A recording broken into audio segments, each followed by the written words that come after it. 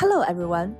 Today we are going to introduce an arbitrage by buying and selling ENS, CLEC to make a profit of more than $11,000 with a 10 times return on investment. It is hard to understand what's going on with this arbitrage unless you use our transaction analysis tool, EigenTx.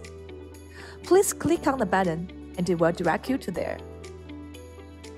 Our tool provides you with a function to analyze step by step. Click on the button here and you will see the first step is being highlighted. You can click on the next step button and the step will be highlighted by order.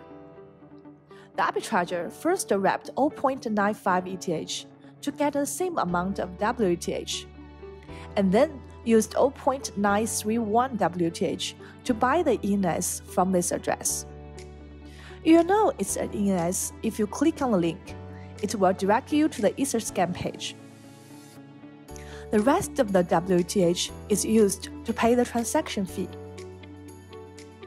This arbitrager then sold the ENS to this buyer at a price of 9.75 WETH. This time, the buyer needs to pay 0.25 WETH transaction fee.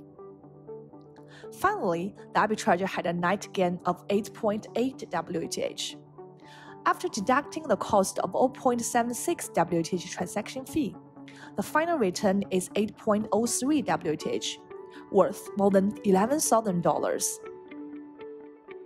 If you want to find more interesting transactions that happen every day on blockchain, please don't forget to subscribe our channel and follow our product.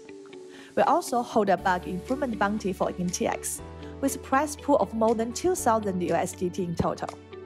Join our Discord to discuss how to use EigenTx to analyze transactions